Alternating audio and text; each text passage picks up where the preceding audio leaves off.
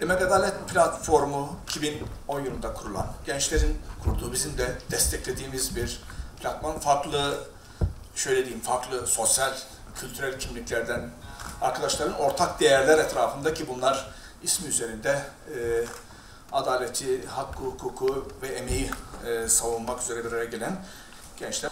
E, asıl olan bunu bir araya gelip e, tartışmak ki e, muktedirlerin hani istemediği de bu zaten. Bir araya gelmek çok hoşlarına gitmiyor. Bu ayrıştırıcı, kutuplaştırıcı, ötekileştirici politikalar karşısında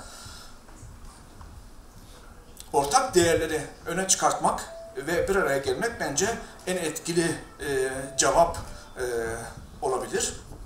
Her renkten KHK mağduru e, ortada. Bu hepimizin vicdanını yaralayan bir şey. Bazı arkadaşlarımız çok çok bu konuda güzel çalışmalar yapıyor. Onu da dinleyeceksiniz.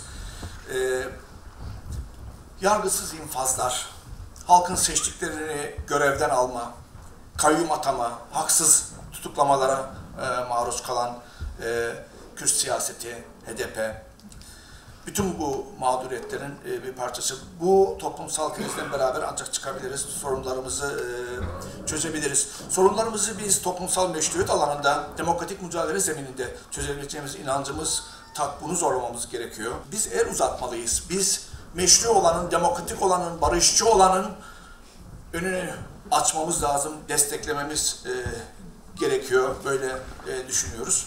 Değerler siyasetini, değerler ittifakını, değerler siyasetine dönüştürmek bu sürece hizmet etmek istiyor. Emek Adalet Platformu da bu sürece hizmet etmek, etmek istiyor.